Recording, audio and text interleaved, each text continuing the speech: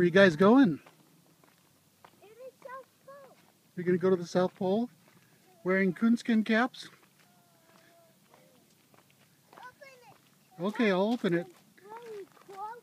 All right, you guys got to go around to the little door. That's or if you wait out front, Daddy will open the big door for you. Want me to do that? Mm, Open big door. Okay, I'll open the big door. So you'll just have to stay right here, okay?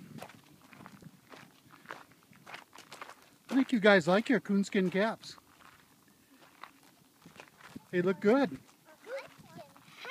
Your coonskin hats, yeah. You look like Daniel Boone.